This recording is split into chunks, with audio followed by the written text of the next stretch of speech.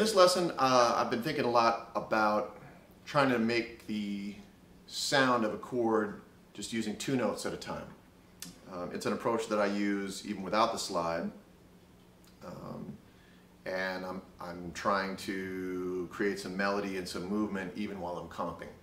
So the exercise that this uh, video opens up with is the use of thirds. And I start out playing this lick uh, for the E chord. I'm, oh, by the way, I'm playing blues in E.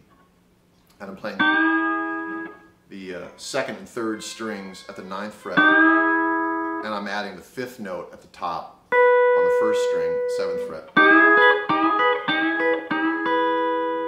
Right?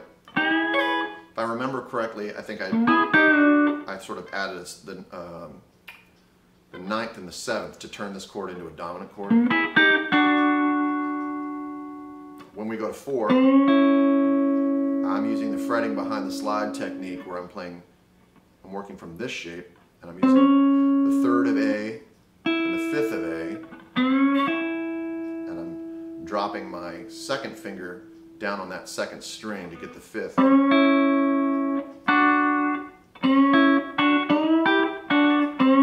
That lick is kind of like uh, Sesame Street.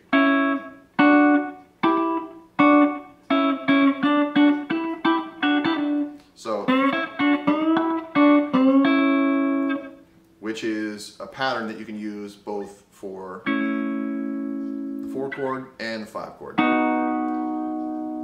so when I go to five, actually I might have just played those two notes for the five chord, and then when we get to four,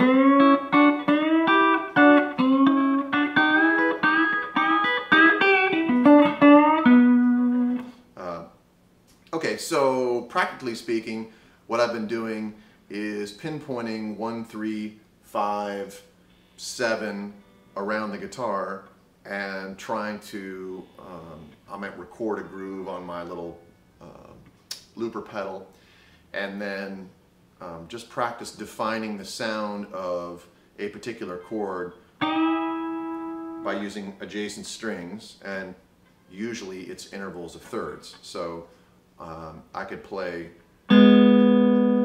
E down here five. I could do, this is four and six, five and flat seven. So that lick that I just played down here, I could play down here, although I'm running out of space. Um, I like to use um, the third and the fourth strings as well. So I might this shape. Here I'm playing the third of E and the fifth of E. And again, I'm using the fretting behind the slide technique. Right. Um, I could also play the fifth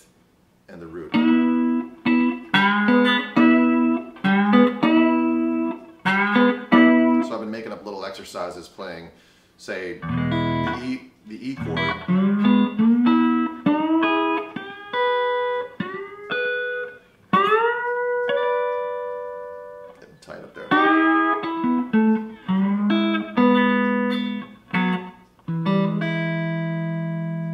There you have it. Thirds. Um, see you next week.